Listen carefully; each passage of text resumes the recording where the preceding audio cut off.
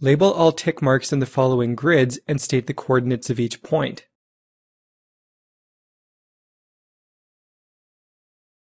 What you see here is called a trigonometric coordinate grid. A trigonometric coordinate grid can be used to graph trigonometric functions.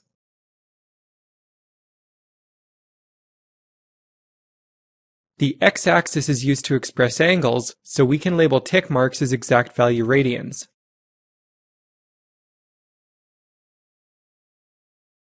The independent variable in trigonometric functions is often theta, so the x-axis is called the theta axis.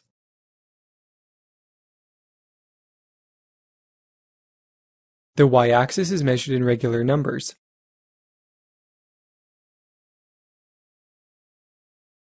Before we can find the coordinates of the points, we need to express each tick mark on the x-axis as an exact value radian.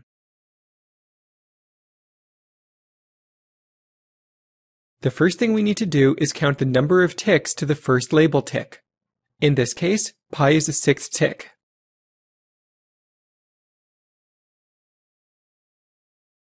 Pi is being split into six equal intervals. Divide pi by 6 to get pi over 6 radians, or 30 degrees. This means the ticks are spaced pi over 6 radians apart.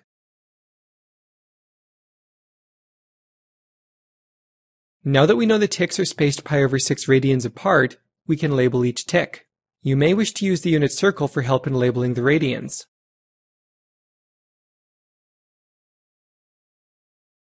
Finally, label the rest of the ticks.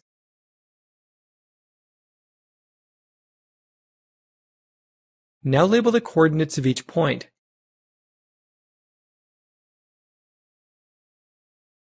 The first point is located at negative 5 pi over 6, 3.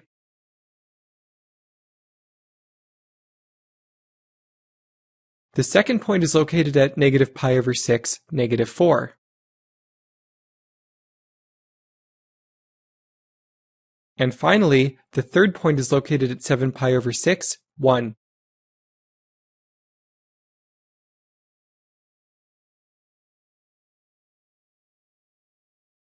Now we'll move on to part B.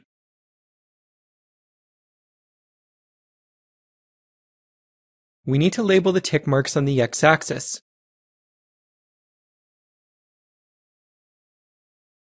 Count the number of ticks to the first labeled tick. In this case, pi is the fourth tick.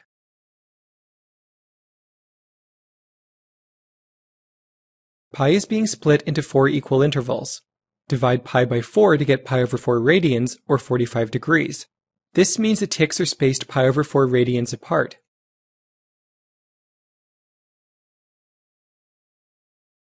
Now that we know the ticks are spaced pi over 4 radians apart, we can label each tick. You may wish to use the unit circle for help in labeling the radians.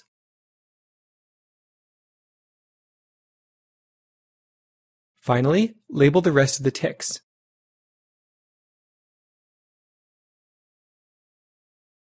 On the y-axis, it takes 5 ticks to get to 20.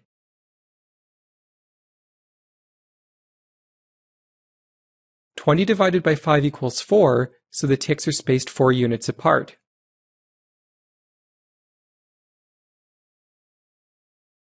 Now label the coordinates of each point.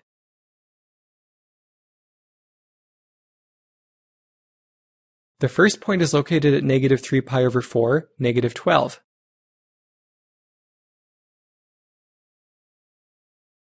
The second point is located at pi over 4, 16.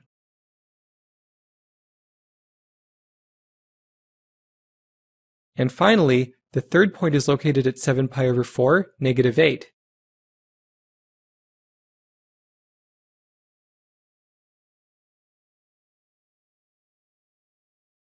Now we'll move on to part C.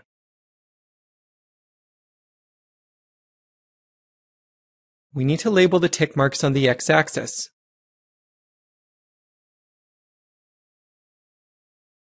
Count the number of ticks to the first label tick.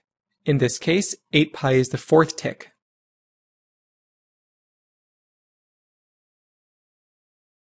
Eight pi is being split into four equal intervals.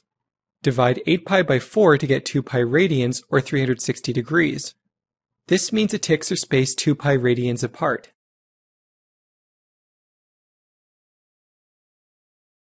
Now that we know the ticks are spaced 2 pi radians apart, we can label each tick.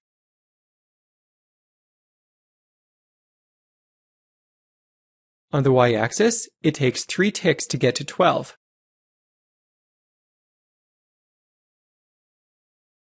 Twelve divided by 3 equals 4, so the ticks are spaced 4 units apart.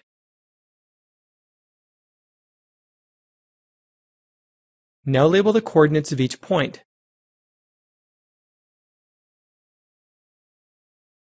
The first point is located at negative 6 pi 8.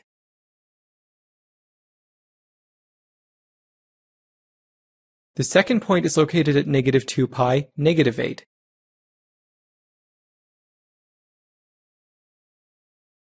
And finally, the third point is located at 4 pi negative 4.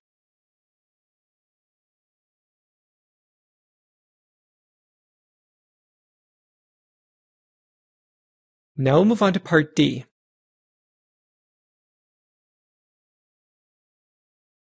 We need to label the tick marks on the x-axis.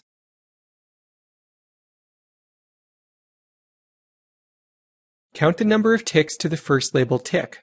In this case, 4 pi is the eighth tick.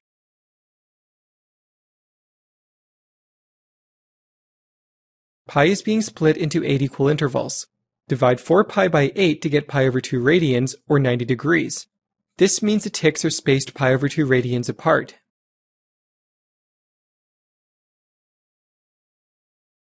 Now that we know the ticks are spaced pi over 2 radians apart, we can label each tick. You may wish to use the unit circle for help in labeling the radians.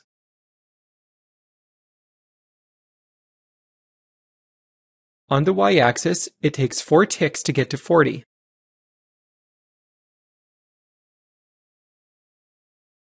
Forty divided by four equals ten, so the ticks are spaced ten units apart.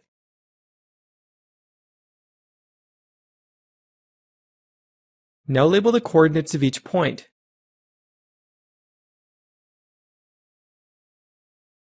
The first point is located at negative 3 pi 10.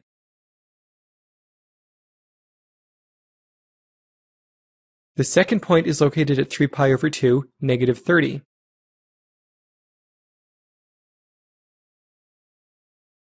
And finally, the third point is located at 5 pi over 2, negative 20.